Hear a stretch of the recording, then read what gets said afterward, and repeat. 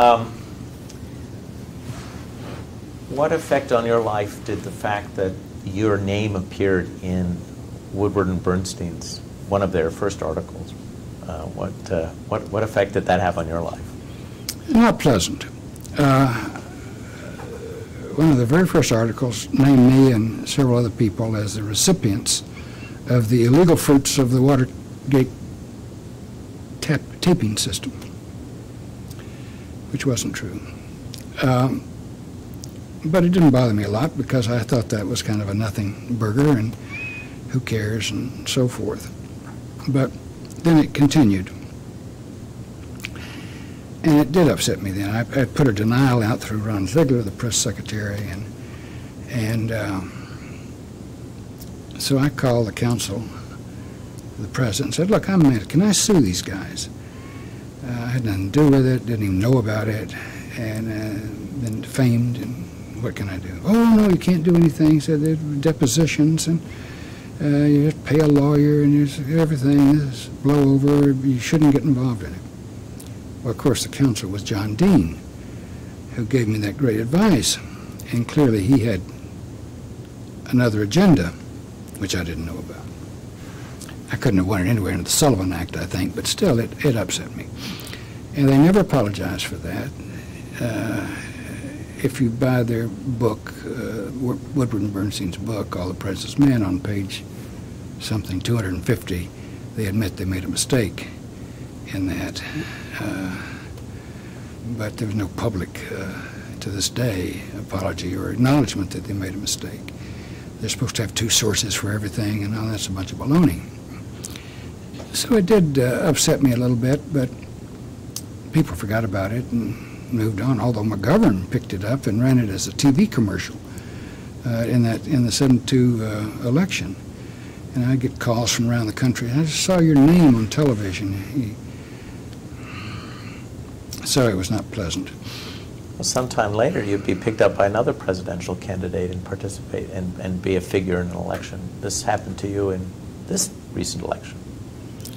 Well, but I wasn't involved in that. That's again uh, press. That's reluctant to talk to the press. They things so messed up.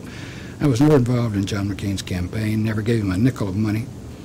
I voted for him and supported him uh, indirectly, but I wasn't part of the campaign. And uh, was kind of pillared about on that, uh, uh, going over my background and clients and the consummate insider and everything else, which is ironic in light of the people he's put in the White House.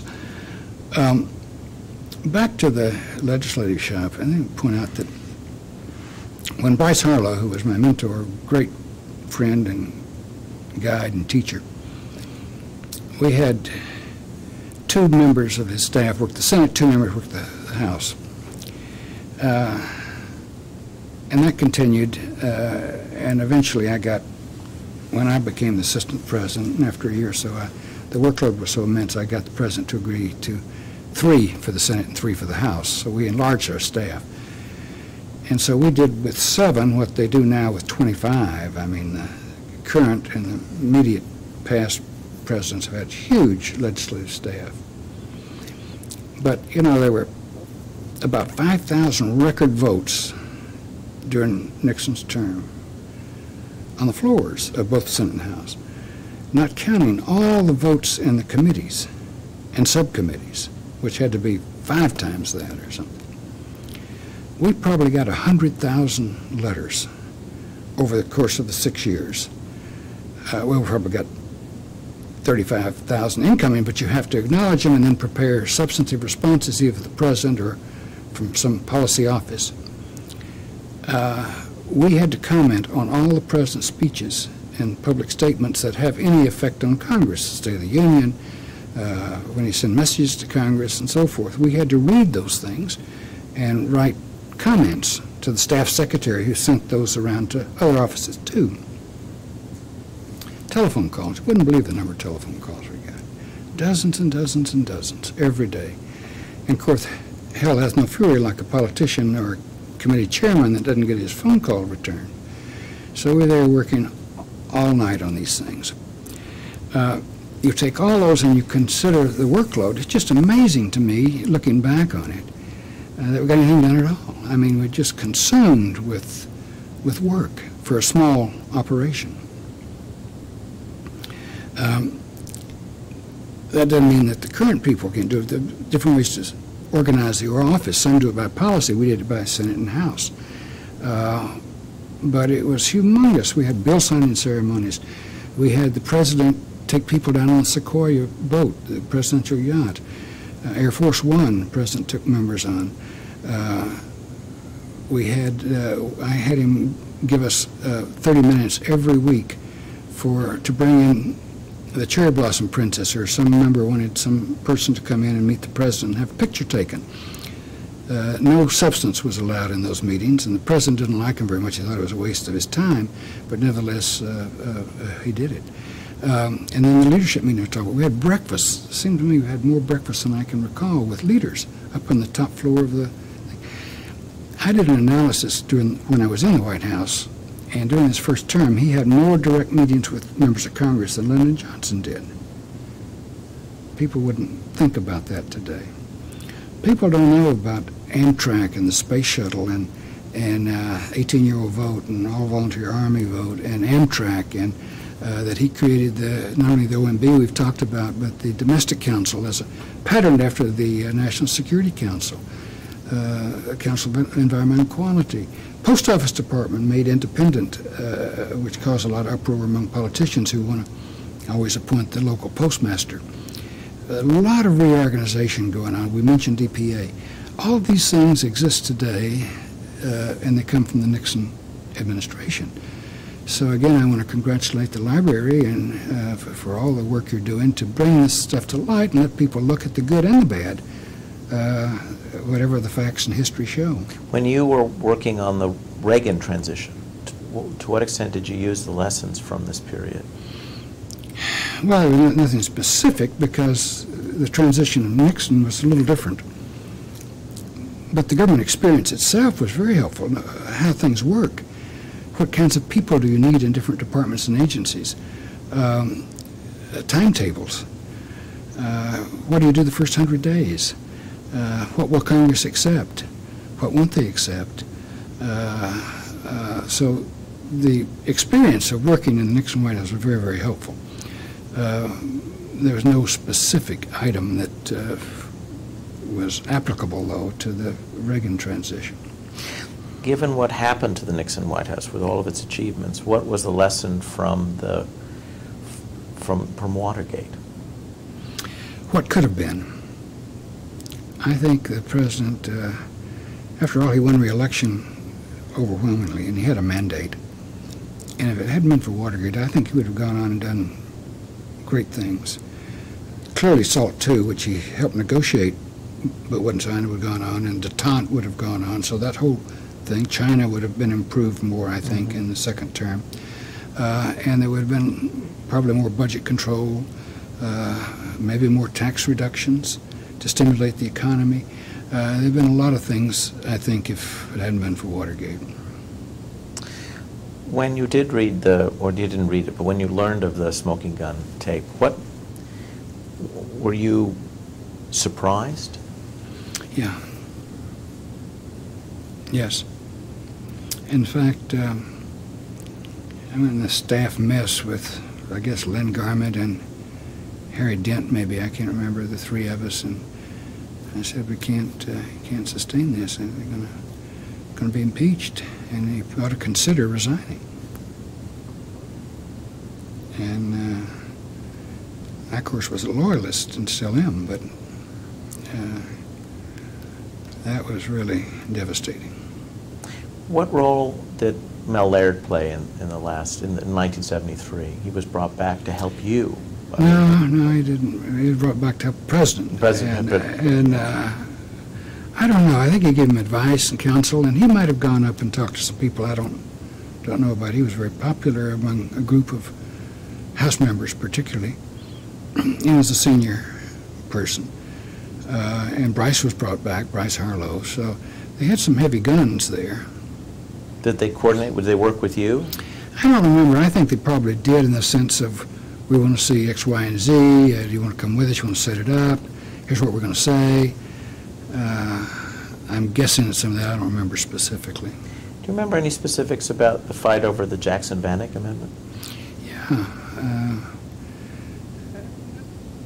The Jackson-Vanik Amendment to a Most Favored Nation uh, trade agreement that, that uh, Jackson would not approve until the Soviet Union allowed Jews to immigrate uh, uh, to Israel, I guess.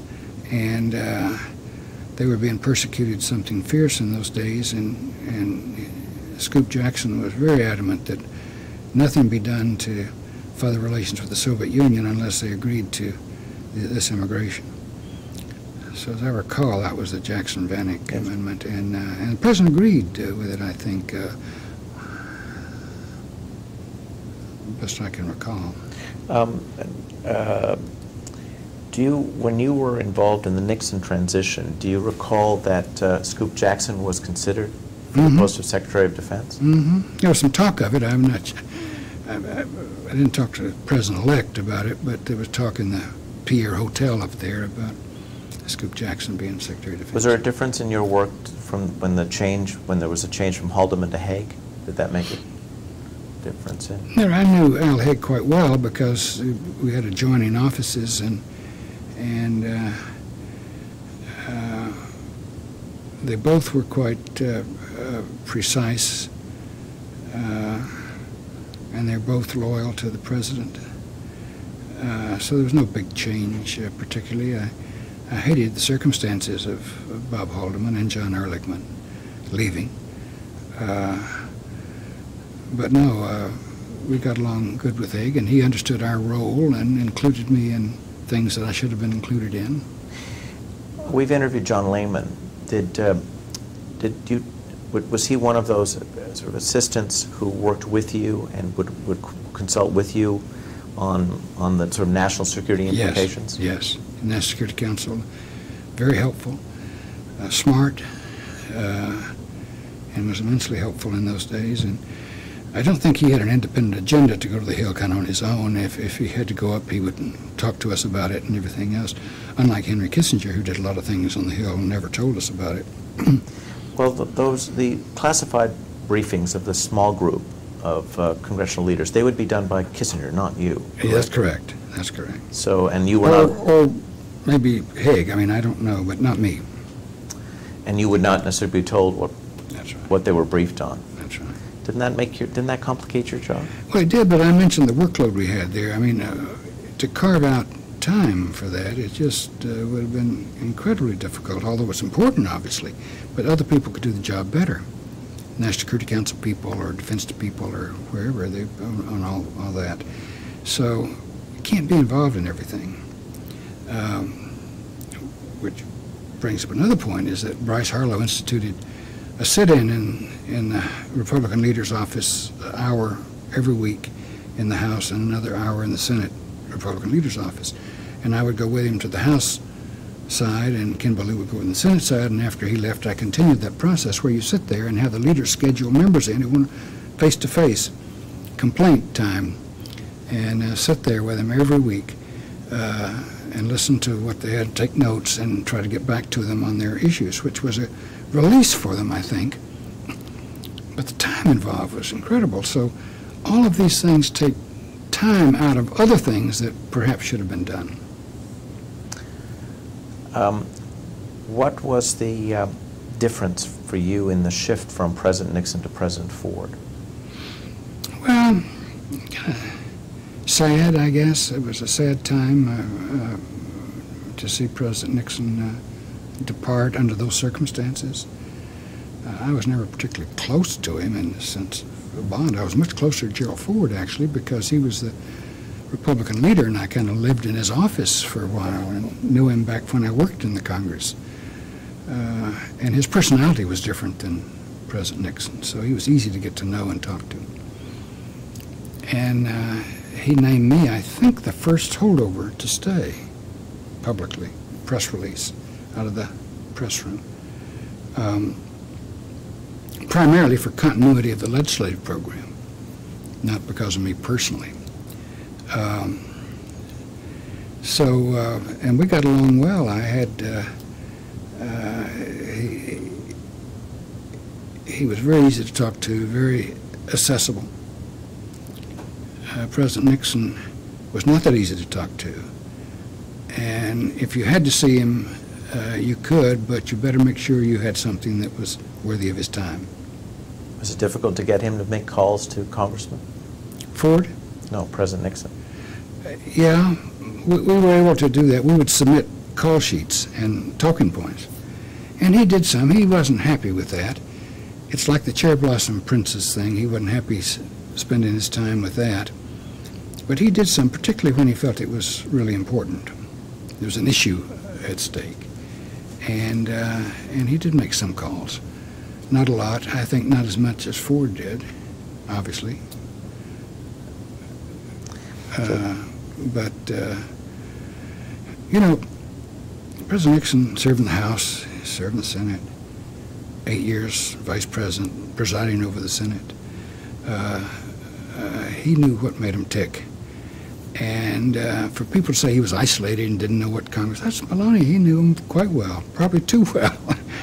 and um, but he would make calls, yeah, and write notes occasionally on his own. We would submit some, uh, but he would write. Mr. Timmons, thank you for your time. Thank you for having me. Thank you, gentlemen. You're welcome. Can we give room tone, just Sure. like 10 seconds of that? Sure. Okay, I'm going to slate it, I'm going to say room tone, and we'll be quiet after that. Room tone?